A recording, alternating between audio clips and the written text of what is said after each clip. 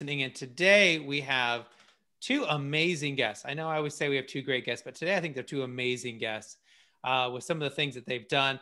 I mean, where else are you going to find uh, a show that has has a guy who's a best-selling Wall Street Journal uh, author and just finished up a stint as the Houston Texans president?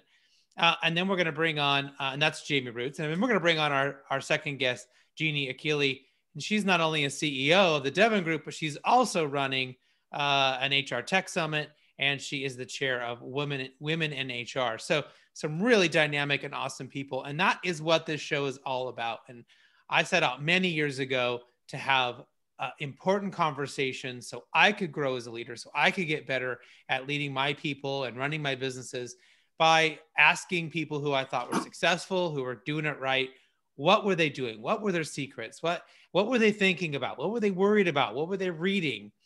And somehow that turned into this radio show. So instead of me doing that at a conference or calling them on the phone, I said, let's put it on live. Let's talk about it. Let's let everyone else listen in. And we've had so many amazing stories that have come out of that. In fact, a lot of those stories went into my first book, The Power of Company Culture. You can grab that wherever you buy your books. And, you know, over the last year or so, the conversation has been overwhelmingly been COVID, right? And the dramatic shift to remote work. And of course, my organization has been fully remote since 2009. So you guessed it, my next book is called Remote Work. And if you'd like to check out more, there's a huge pre-order promotion going on right now. You can go to chrisdyer.com slash remote work promo to learn more. Now, Talent Talk is live every Tuesday, 1 p.m. Pacific Standard Time. If you'd like to tune in live, that's great. But if you don't, no big deal. If you listen when you're in the car or maybe uh, while you're on the treadmill, uh, listen to a podcast, don't don't forget to subscribe wherever you find your podcast on iTunes, iHeartRadio, Stitcher, Spotify. Let the uh, let the bots do the work for you. Subscribe, and they'll always let you know when there's a new episode. So, uh, and finally, before we bring Jamie in here, is going to be our kind of kick us off for the first half of the show. Don't forget you can follow us on Twitter at PeopleG2, and we we live tweet with the hashtag Talent Talk the show. So anything you know incredibly intelligent that we say, uh, or anything that maybe you would wish you had written down, a link to a bio, a book, we put that out there so you can go and grab that easily uh, and follow along, or even ask us a question, give us a comment, suggest a guest. That's where we're tracking all of that. So let's go ahead and bring in my first guest with no further ado. Uh, Jimmy, welcome to the show. Hey, Chris, great to be with you. I've been looking forward to this one. I've always believed uh, business is about the people, and certainly you feel the same way. Yeah, absolutely. So I know you just kind of finished up uh, your, your latest gig. So why don't you tell everyone a little bit about you, what's important for us to know about you, and you know, uh, besides maybe uh, catching up on some golf or something, what are you doing now, uh, six days out of it?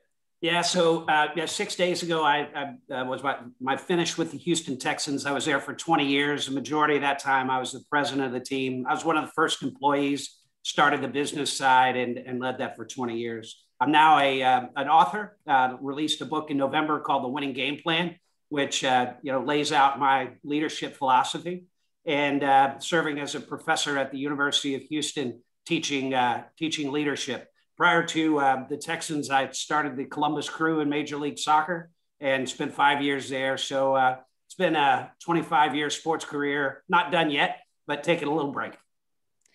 Well, uh, you probably very well deserved. And I imagine, you know, over those 20 years, even just with the Texans, right? I mean, probably a lot of highs and lows, ups and downs, and, you know, challenges. But certainly the last year, probably has been the biggest challenge I think in the sports world. I mean, there has been uh, you had nobody in the stands, right? How do you have a season? How do you play? Then we had all the continued issues with social unrest and and the Black Lives Matter movement. I mean, there were so many different moving parts and things that I think were getting thrown into sports in general.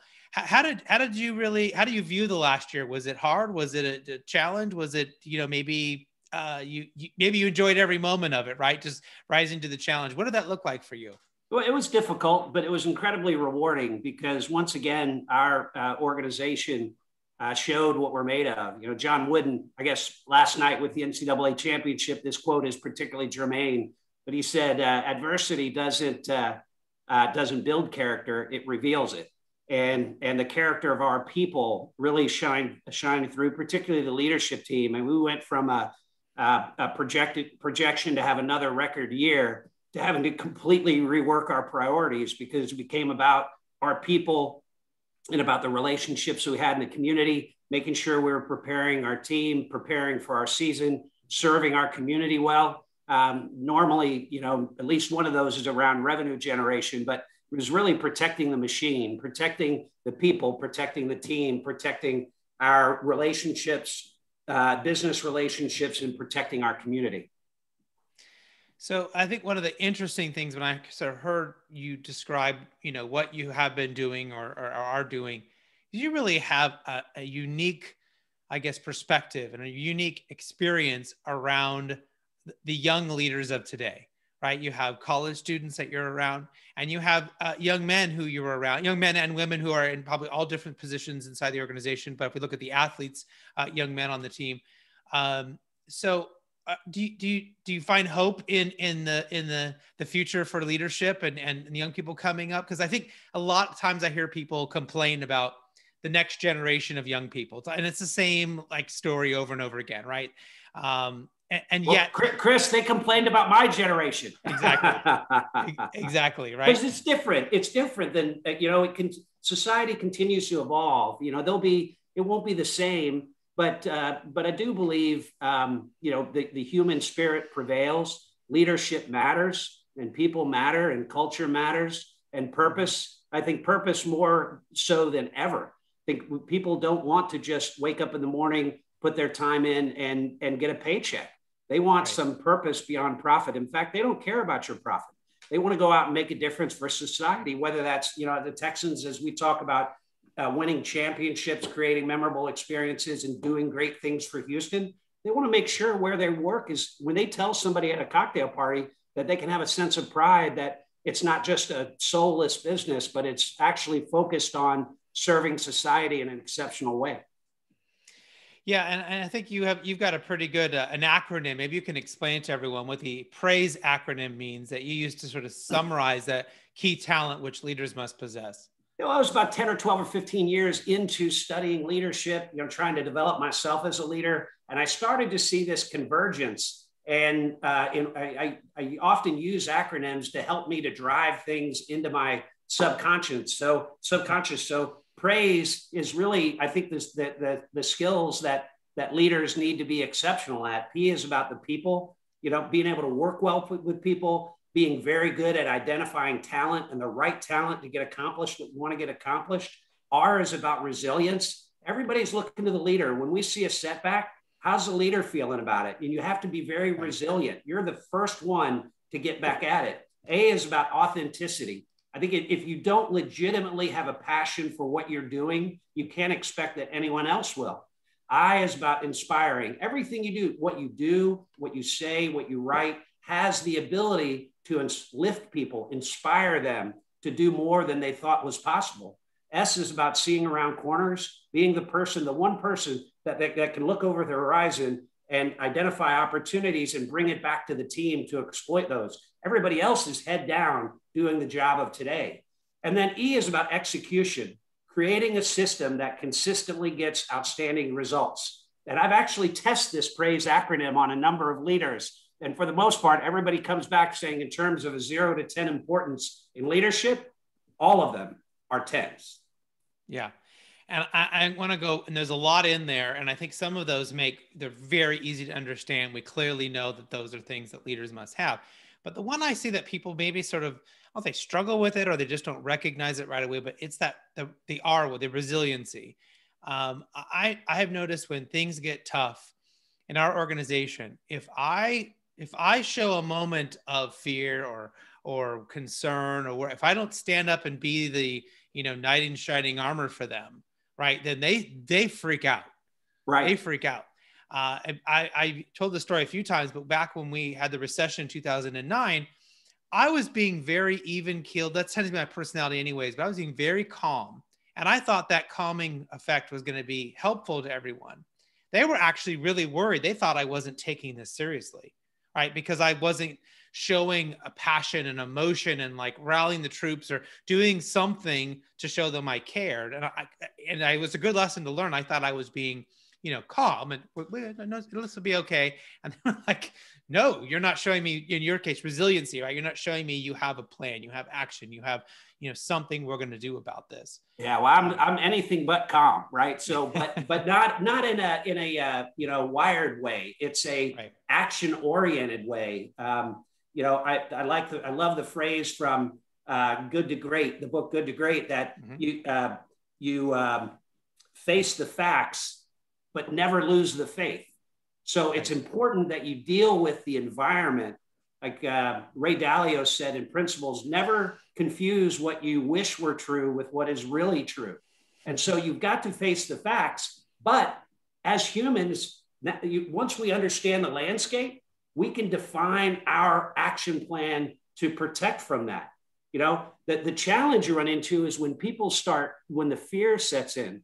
And uh, uh, one of the tools that we used during the NFL lockout, because there was, it was just like the, uh, the uh, economic downturn. There was so there was the opportunity for so much fear that it would be paralyzing. What's going to happen? What's going to happen to me? And so we made a commitment to be positively focused, to accentuate the positives in the environment so that they are realistically balanced with the challenges that we're facing. And the focus is to focus only on the things you can control. And if you can't control it, you just have to put it out of your head. What can you do about it? what can what what is the next logical thing to do is where you have to keep people's head and that's what the leader does maintains a positive optimistic out, outlook but doesn't avoid the challenges and defining the challenges that you face yeah and i know you have sort of a 4d leadership model around that maybe that would be helpful for, for people to understand yeah well I, I think it's just a helpful reminder it's a very simple um, concept but you you know leaders don't just don't man don't just manage down. I mean, to really be exceptional, you do have to manage down well. And that's all about clarity clarity about who we are, what we're trying to get accomplished, so that everybody understands what is expected of them every day at work.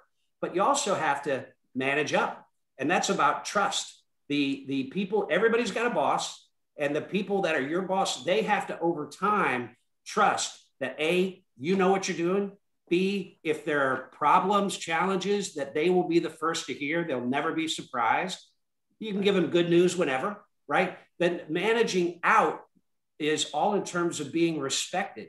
Because when you go outside of the organization to represent it, people are judging the, uh, the organization in its entirety based on what they feel about you.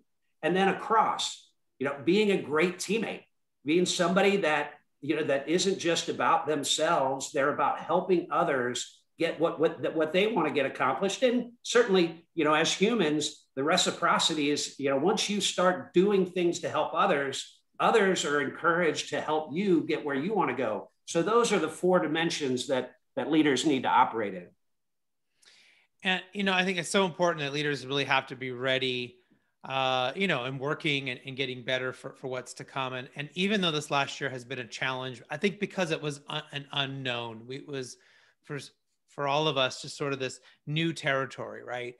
Um, but I think what's coming next is not new, but it's going to be just as hard. And what, what, what I mean by that is that we have lost good talent during this. And then when, as we bring people back, I think we're going to lose more talent, or there's just going to be this big jumbling of people going to new jobs and new places, uh, either because they want to be in an office or they want to keep remote work, or maybe they realize now they don't want to do that job anymore and they want to, you know, they've spent the last year learning a new skill. I, am kind of foreseeing this talent movement a bit. Mm-hmm. Um, mm-hmm. And and so leaders are really going to have to be really know what they're doing, really have their messages down to to deal with the talent management movement, uh, you know, kind of changing there.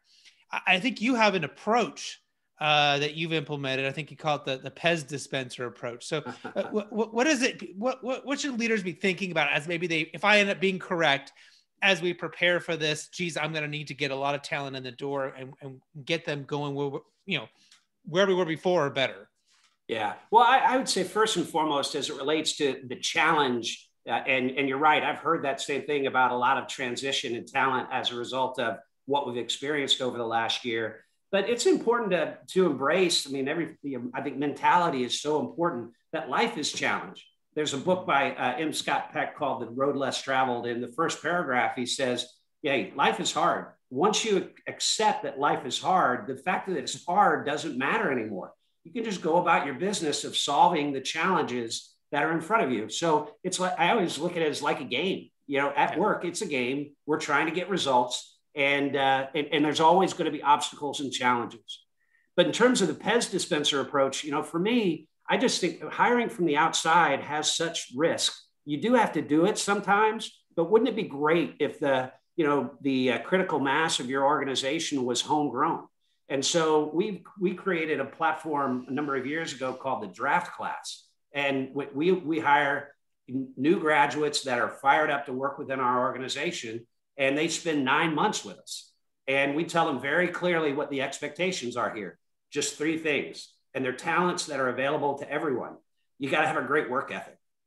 You have to have a winning attitude, be positive, optimistic, team oriented.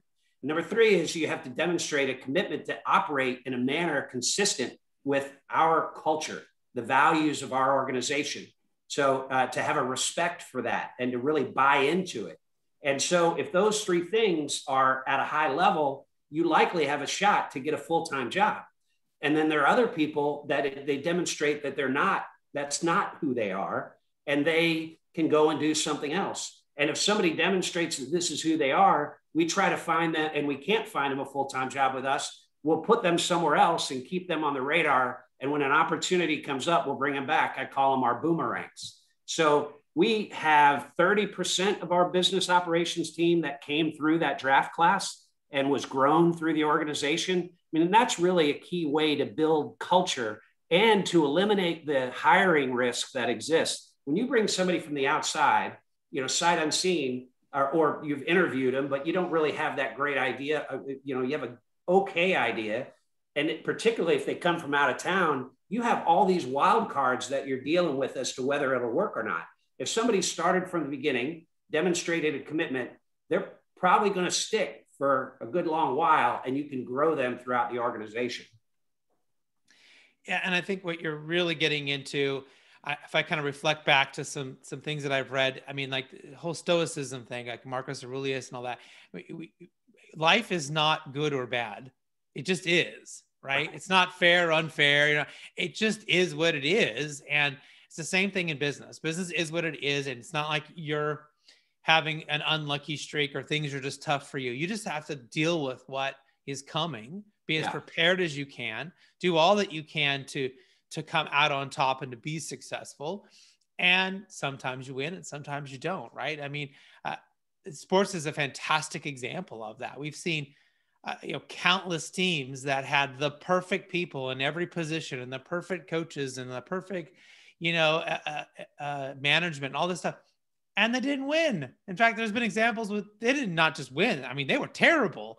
Um, you know I, being a lakers fan it was that year we had karl malone and gary payton and all these people on the lakers and we couldn't win the championship right? We had all the like nine all-stars on one team and we couldn't pull it off. Well there's sometimes when you have too much talent you know, yeah. uh, they, you know, it has to be the right combination of talent and the right types of talent. You know, I'm reading a book called The Real Madrid Way, and they talk about, you know, there can only be one first among equals. You know, mm-hmm. and and and when they get that, it's really magic. You've got stars and you have role players, and they mix together in the right combination. You can get great results. Yeah, and and I think about, uh, you know, the last 10 or 12 championships in any sport you want to pick, there's probably was like one or two really key role players. They weren't the giant stars, right? Right. Right. Um, you know, back and, in the day. And, and, the locker room, you know, the chemistry within the locker room, the fact that you've got a family environment and everybody's willing to, you know, uh, su- suppress their own needs for the good of the mm-hmm. team. Yeah, and, and I often talk a lot about that in our uh, people ask, how do you hire someone to be a good remote employee? How do you hire someone that can do all of this? And I'm like, they had to be willing to come in and want to be on a team and have teamwork and like they'll show up to a meeting to help someone else just to help, right? Mm-hmm. They'll do that not because it gets them anywhere, not because they get a promotion, not because they get more money, but like because they generally just want to help somebody. Right. And and they know it might come back to them, of course. But you need those kind of people. And that you're right. It's the same thing in the locker room. You need that kind of leadership. You need that kind of uh, a, commitment. And you know, I think the, the, yeah, to the team. I think the, the first person that I ever knew as a kid watching sports that comes to mind was like Kurt Rambis. I mean, mm-hmm. that guy, that guy got like 900 rebounds. We played incredible defense. Probably scored two points, right?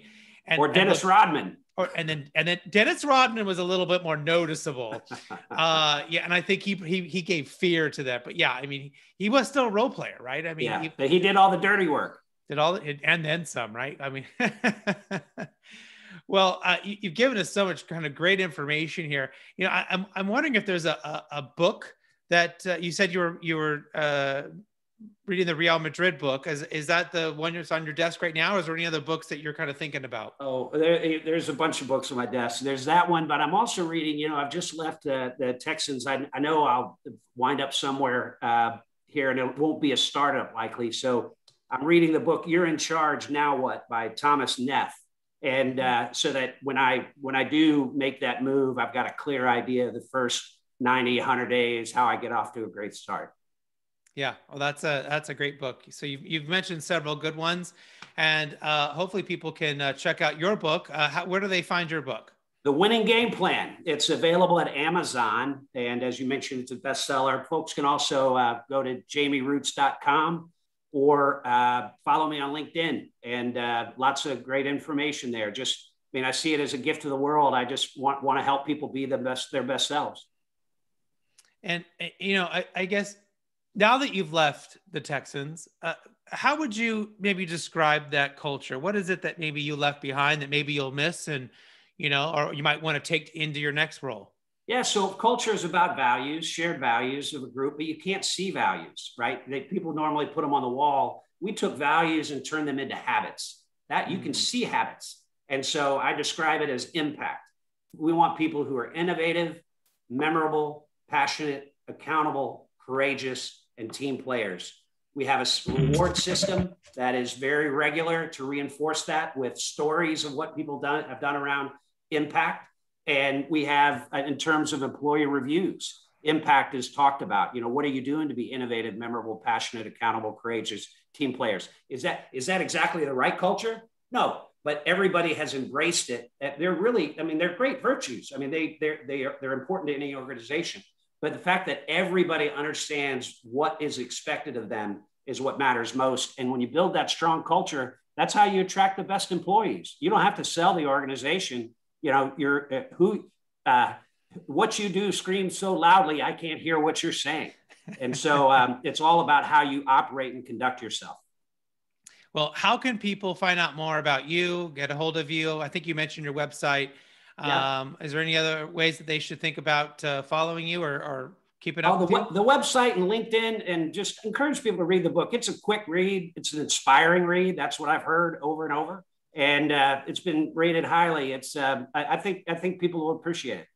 Well, thank you so much for being on our show today. Hopefully, we can have you come back, especially if you you know with your next gig or something, kind of get caught up with you on what you're doing. Uh, but I learned a lot, and uh, again, really appreciate you being on the show today. Thanks, Chris. I appreciate it. Thanks for having me on. All right, we'll right back after this quick commercial break, and we'll bring in my sec- second guest, Jeanne Achille. Imagine buying a newspaper and discovering that the news you're reading is six months old. There isn't much that stays the same for six months. And the same thing goes for background checks. In a time when so much outdated information is being passed around, it's good to know that People G2 offers something different. At People G2, we provide today's intelligence, not yesterday's news. Our value added approach offers you a fully FCRA compliant solution that includes up to the minute information. By combining industry leading technology with old school human investigation, People G2 is able to give you information that is accurate right now, delivered quickly through our online system or integrated with your HR system. So ask yourself are you comfortable working with old news, or are you ready for a different kind of background check company? Visit peopleg2.com or call 800 630 2880. That's 800 630 2880 or peopleg2.com. Welcome back to Talent Talk Radio Show. In case you missed our first guest, former uh, just just left the Texas Rangers. Uh, if you want to check out uh, uh Jamey's uh, uh, Jamey Rootes on Amazon, or if you want to get his podcast again, don't forget to subscribe to TalentTalkRadio.com. You can go on there right now, and make sure you never miss an episode. we'll have all that up uh, and of course, continually, we will be posting on uh, Twitter as we go through right now. And you can give us any of your questions and we can throw them in there. So uh, I want to bring in my next guest who this is, I'm going to, I'm going to compliment her, but at the same time, it'll end up complimenting me too. So it sounds bad, but I mean it in the best of way, which is we were both on the same list for people, people hums most influential thought leaders. Uh, so uh, really, really glad to have her on the show. She's a, a brand and product storyteller, HR tech and ed tech expert, and chair of the uh, Women in HR Tech Summit at the annual HR Tech Conference, founder and CEO of the Devon Group. Jeanne, welcome to the show. Hey, it's good to see you, Chris. Uh, how are you doing? I'm I'm doing well. I'm doing well. Trying to. It feels like I we I crawled into a cave for COVID, and I yeah. went in there and worked for 24 hours a day, 365. So uh, I'm I'm looking forward to getting outside just so I can take a break.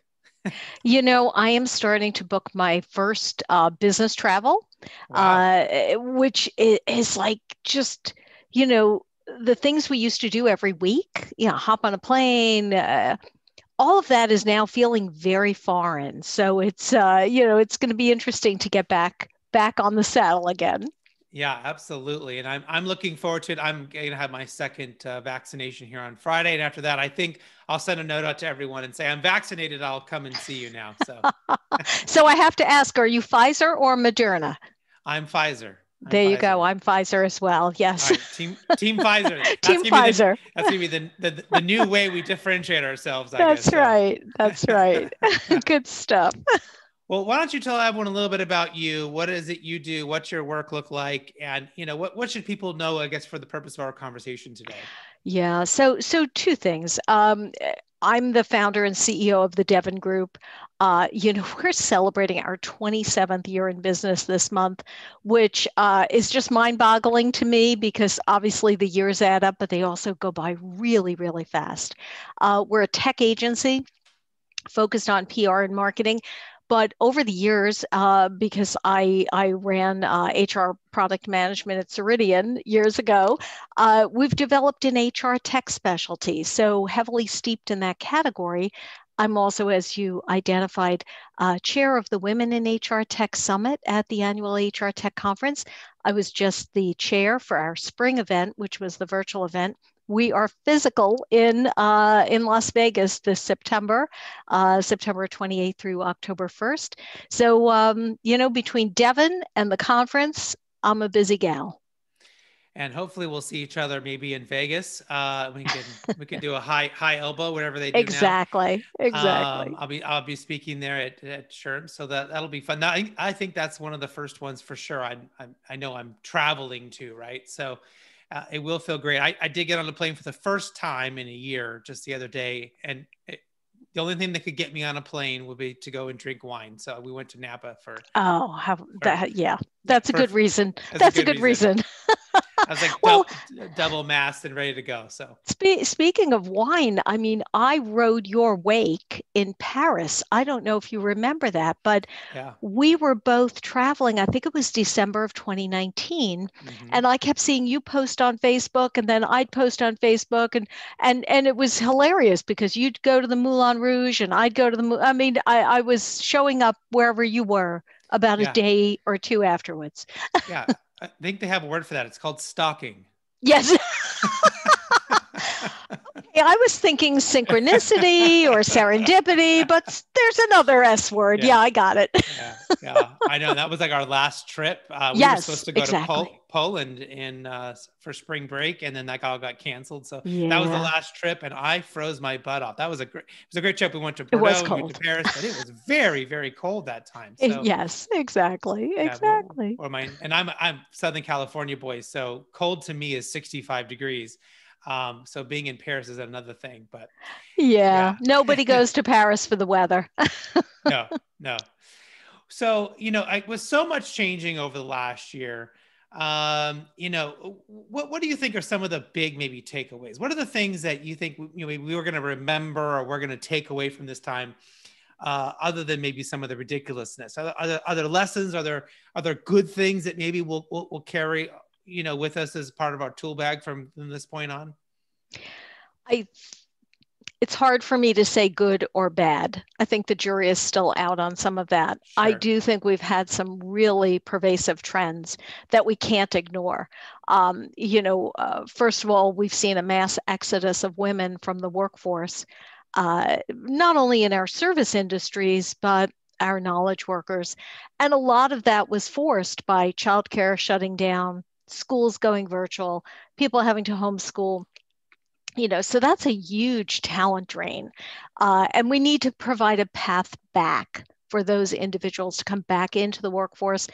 And that's going to have to look like new labor models and flex time uh, you know there'll be some coaching involved uh, coaching services to get people to feel less anxious about being back in a physical workplace but uh, you know you hear that word empathy a lot i, I think that's something that um, boy, talk about ripping a band-aid off. We we all realized how human we are and how mm-hmm. much we need each other and we need to understand how to talk to each other you know beyond slack beyond email that we have to find a way to be connected so um, so yeah some really interesting stuff is coming out of of the pandemic and uh, and hopefully the lessons learned are sustainable I, I think there's been some some really important teachable moments throughout this. Yeah, and I'm really hoping that organizations can uh, adapt their their model right to how they work to allow that flexibility you talked about. Mm-hmm. Um, you know, whether it's hybrid work, whether even if it's you do need to still come in the office, but at least they're going to be flexible about the time of when you work and how you work, because that uh, has the biggest impact on to your point, I think on on women, mm-hmm. um, on anyone else who maybe does not fit that typical cookie cutter thing. So we could have people that have could be students, they could be uh, disabled, they could be. I mean, there's all these different categories exactly. of people that you know if you just allow a little flexibility, magically they can they can be there. And I, I, hate, you know, it's like I hate like telling secrets, but we've been using this for years. Right? we would hire people, we would hire um, uh, you know moms we would ha- hire spouses of military mm-hmm. right because i didn't care if they if their spouse got moved to another base it didn't matter to me you can keep working because exactly. you're already remote exactly and and and it wasn't hard to create that flexibility but for so many organizations for so long it's like well no we have to have them all in the same building we must do it this way and there can't be no flexibility and we'll just go get somebody else right mm-hmm. and and and yeah like maybe they got somebody else but i have found I, I get like A players just because I'm willing to be flexible. Mm-hmm. Right. Mm-hmm. Yeah, absolutely. Because you get A players when you meet them where they are. Mm-hmm. So, you know, an A player has a lot of options. And so if you want to engage that A player, you know, you have to be respectful of what their requirements are. Um, and and I, am with you. I hate that old school command and control. You know, we all have to sit in the office. Uh, you know, we can't can't physically leave the office until we see the boss leave. I mean, I've seen crazy stuff over the years, and right. that's so counterproductive and so demoralizing. And um, you know, when people leave you, then that impacts your employer brand significantly. Uh, you know, they're, they're just not not out there saying good things about you as an employer. So, an employer of of choice is respecting the differences. Mm-hmm. Uh, and you know, we all talk about about uh, diversity, equity, inclusion, belonging. Uh, you know, we have to make sure our labor models align with that with those values. Yeah, and I think we expect people to just suddenly I don't know, evolve in some way, right? That they're not going to act that way. yeah. I remember when I was in Japan, I was, you know, so the big news at the time when I was there was that they actually implemented laws to stop people from working these ridiculous hours. It was the same thing. Like you don't go home until the boss goes home. Yeah. and then the flip side the boss was like well i'm i have to stay here and work a long time so they respect me Right. and they and, and so it's like this thing where they they go in on monday and they Yeah. end up working 20 hour days they sleep in these pods for four hours and then Yeah. people are killing themselves and, and Exactly. we're- you know and it's not good for anybody right Yeah. And so- Then yeah. and so we Yeah. expected them to just realize that this is a bad idea and change. But it took an outside force. So the government had to say, no, like you cannot do this anymore Right. to try to Right. force some bit of change. For me, COVID was this forced change, right? We, mm-hmm. you have to try remote workout. You have. Yeah. to you Yeah. have to try flexible work. You want to keep your people, Right. you want to you want to keep a, a parent who's trying to homeschool their kids at the same time. You better be flexible about when they work, or you're going to lose them, exactly. Right? Exactly. Yeah. I mean, like, don't be put off that they're sending out emails to the team at 10 o'clock at night.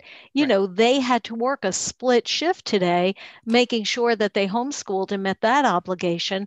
And now they're working hard for the company. You know, they're they're devoted employees, but you have to respect that they have other demands on their time. I do remember what you're talking about in Japan. It, it is scary that as human beings, we have to be told to take care of ourselves. I mean, we take care of our cars.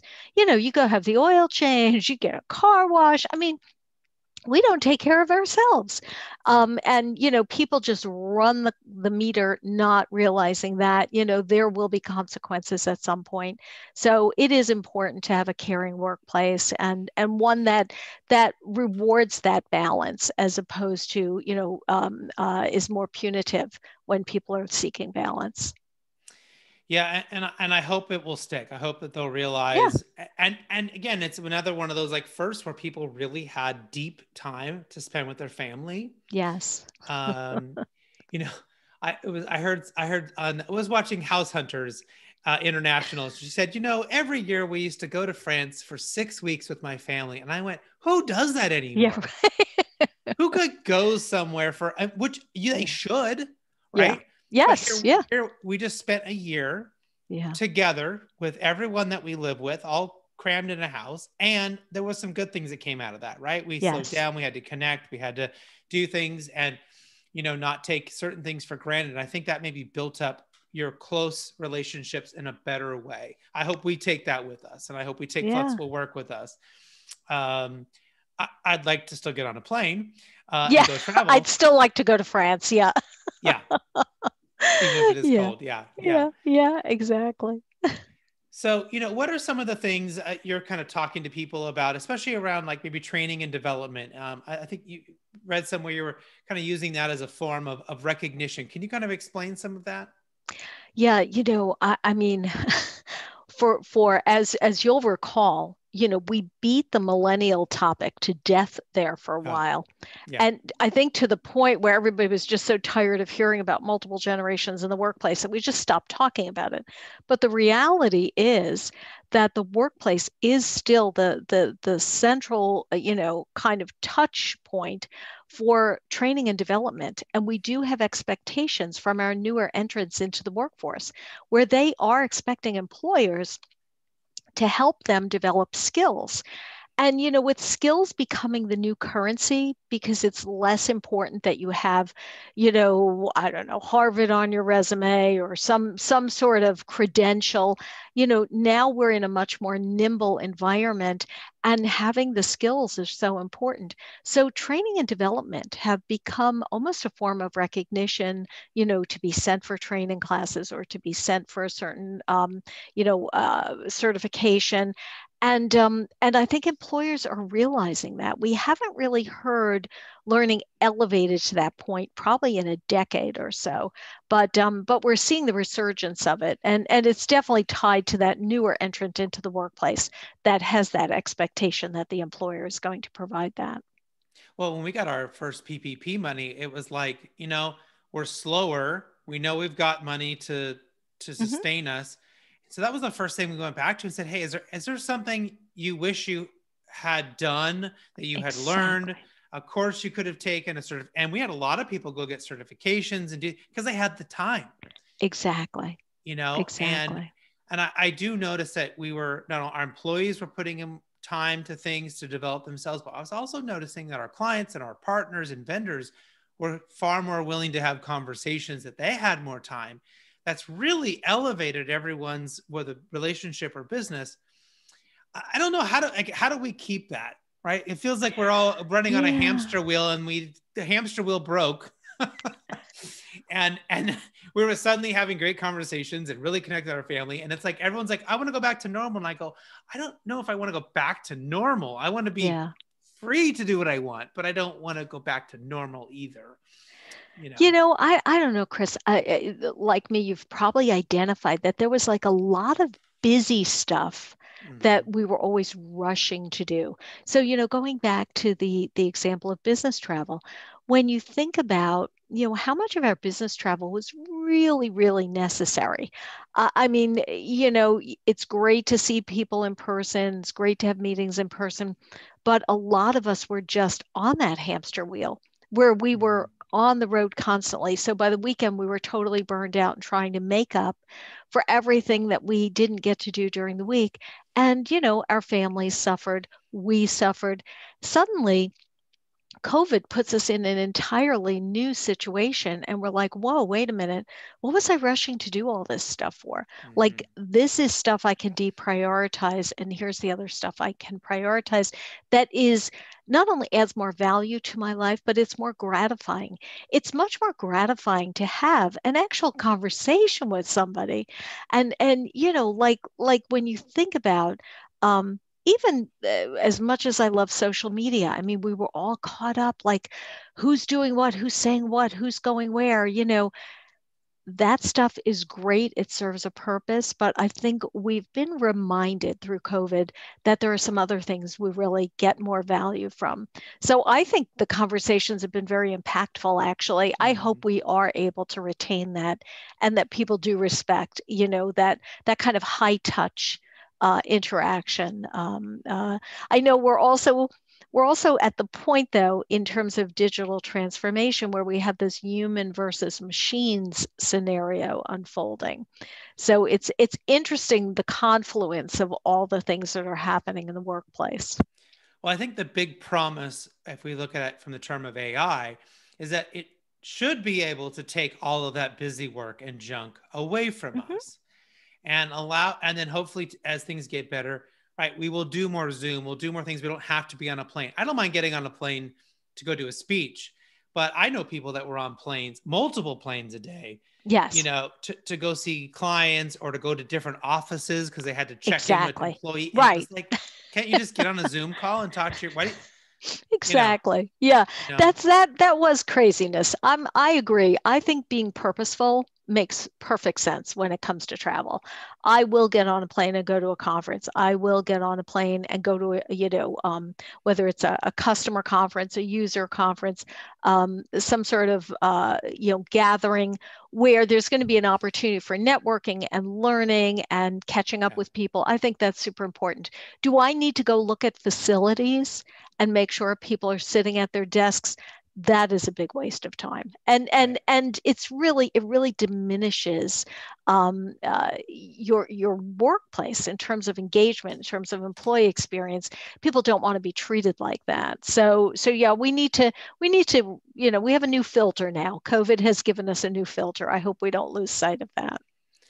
Yeah i, I mean it, it, it, there's a certain I don't know, you almost get addicted to it. There's a certain funness about being on a plane in a new place. And, you know, so, suddenly yes. you can you can have a deep dish pizza in Chicago, and then you can have a real pizza in New York. Sorry, right. Chicago people. Um, and uh, you know, and whatever. Best pizzas in Jersey. Come on now, right. you, you right, shout shout out for Jersey. I'm sitting right. right here. but you know, you forget about the uh, thunderstorm in the Midwest that canceled your flight, or the snowstorm exactly. in Denver that cancels your flight, and you get stuck somewhere. You know, yes, I mean? it's not so much fun. So, yeah, well, I, you know, I, the, one of the things I wanted to ask you about is I think I heard you say something about uh, payroll being the ultimate employee experience. Can, can, you explain what that means? I know that's not intuitive. Uh, people are like, "What? Why would that be exciting?" Um, you know, the reality is we have a lot of buzzy stuff going on right now about employee experience, employee engagement. Uh, you know, what actually constitutes an employee experience? What do you actually do to engage your employees? At the at the core of all this is payroll that is why people come to work. They're earning wages and they expect accuracy, timeliness, options. And we're seeing an evolution in a category that we haven't seen a lot of change in for decades, quite frankly, mm-hmm. Chris. I mean, we are now seeing where if I'm an employee, let's say at a restaurant, and you know, I get paid every two weeks, but I need to get my wages three days before payday, you know, we're now seeing that level of flexibility in the payroll mm-hmm. providers where you can collect your earned wages in advance. So, um, uh, and, and, you know, all of that's in different formats as well, whether it's direct deposit or, you know, uh, on, on some sort of uh, pay card and such. So I think that's actually a very interesting category that we should keep our eye on. Um, but yeah, it's core HR uh, you don't expect a lot of excitement in core HR, but I, I do think payroll is a category to watch in the HR tech space. Well, that is really interesting. And, um, you know, you would think that we could develop something like you mentioned, if you clock in and you clock out, or, you know, you, you could just get paid every day. Yeah, right? exactly. You could get paid incrementally. I don't know if, how, if that would be a good result or a bad result or how that might change things for people, right?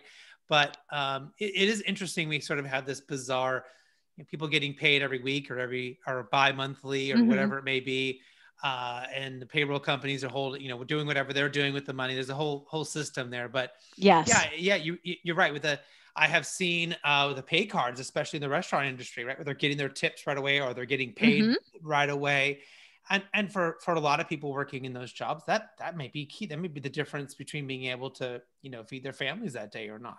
Exactly. um, you know uh, or or a student being able to to to go buy some top ramen for the night you know wherever you are in your life. That's true you know, we've that's all been true. there so yeah that yeah. could really change the whole experience. It sounds like it'd be really you know for those kind of frontline employees for your uh, uh, maybe the uh, early early entry places, restaurants, things like that. You know that staffing. You know anyone who's being mm-hmm. placed by staffing company. We've already started to see some of that growth. So that really is interesting that you could yeah. allow that flexibility, allow some of that to happen. Yeah, I mean you're you're raising a very good point because the other thing is I think we because of what we do for a living, sometimes we lose sight that not everyone is sitting in front of a computer all day long or using technology to transact business. Mm-hmm. Um, you know, we have a vast portion of our labor force that was particularly hard hit by the pandemic, of course, um, that are in the service industries.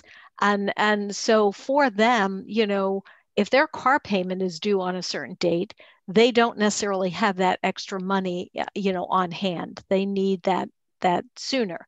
And if they've earned it, why not have that level of relationship with your employer where they're able to facilitate that? So, um, you know, some of those throwbacks to getting paid every two weeks or getting paid once a month and some of that that's that definitely favors the employer uh, but you know we are now seeing that the employees have a fair amount of say in terms of of uh, of how they want to work going forward and covid of course accelerated that as well so I know one of the you mentioned one of the big things coming up for you this year is the HR Tech Conference. Yes. Um, be back in, in Vegas. So maybe you could. What are some of your kind of early perspectives what are some of the things you're going to be talking about or, or different things inside of the sessions? What should people be expecting to, to hear from you and others that you're excited about? Yeah. You know we had um, our first programming meeting yesterday. Uh, we're going to be at mandalay bay so it's a switch. We were at the venetian previously. We're back to Mandalay Bay, which I understand has been like totally redone. So I'm I'm kind of looking forward to seeing what that looks like. You know, is it is it funny that I'm saying like I can't wait to go back to Vegas because uh, you know we we were all in Vegas like what six times a year, eight times a year, going to all these these events. Um, but it's going to be great to be back in Vegas, and you, you, we're really going to have a big theme on return to work and what that looks like. I know for my portion of the program, I'm very focused on, you know, people are, are kind of like, I want things to get back to normal, um, or, you know, the path back to normal. But one of the things I'm looking at, Chris, is is the path back to normal really the path forward? Um, because you know we, have gotten we've gotten wounded here. I mean, we, we have to look at we've we've been wounded here with COVID, and um, maybe going back to what was normal isn't really an option anymore. So we have to look at what the path forward is going to be. So we're going to have a big focus on that, and of course we're going to have uh, a lot of wonderful thought leaders, Josh Bersin, uh, Jason Averbook, uh, you know, a number of our thought leaders in the industry will be uh, presenting, as well as a number of the, um, the uh, CHROs, uh, VPs, HR, you know, IT professionals. So it's going to be a great educational experience as well. Well, I know, you know, last year I think I did over 70 you know uh, webinars or or yeah. keynotes and things like that just on remote work and so far this year the the that has shifted to hybrid and so yes yeah what was what was hey teach us how to do remote okay i know how to do that let's go do that and now it's hey how do we have it you know how do we deal with hybrid and so it's really been interesting to see yeah, i think in years past it was maybe a little bit fuzzy what what what is what do businesses or what does HR really care about right now? They have lots of priorities. For me, the priorities have been very crystal clear last mm-hmm. year and this year. Um, and there's maybe three or four really big things. And big thing that I'm meeting hit with right now is hybrid, right? How do we yes, yeah. how do we handle this this this new mode of work? And it's been really exciting to talk about and to do. And uh, you know, I'm, I'm hoping, like I said, fingers crossed that they're going to keep this flexible work going forward because it's I think it's so important. I think it's smart. I think it's very smart. I think savvy employers need to do this. It's it's you know, like I said, there is no going back to the physical. Yeah. Well, Jeanne, how can people find out more about you? How can they, you know, figure out where you're going to be, where you're going to be speaking? What's the best way for them to do that to follow you? Well, I hope they'll connect with me on LinkedIn. Uh, I, am there uh, under my real name, Jeanne Achille, and also on Twitter. And of course, email is great. It's J E A N N E at devonpr.com. Yeah. So in case you're going to look her up, it's it sounds like Jean, but it looks like it's J E A N N E. So in yes. case you in case you might go and type in G E N E like I would, uh, you'll have to spell it correctly to find her. But I'm sure easy to find her. She's everywhere. Thank you so much for being on the show today. Really appreciate uh, you being here and sharing so much of your incredible knowledge with our audience. And hopefully, we can have you come back, uh, you know, sometime later this year or early next year, and and catch up and see what you're doing. Sounds great, Chris. Thanks so much. You have a good rest of your day. All right. Thanks everyone for tuning in. Hopefully, you've uh, learned something you can use in your own career in a positive way. Uh, we'll be back next Tuesday live. So until then, do what you love and show the world how talented you can be today.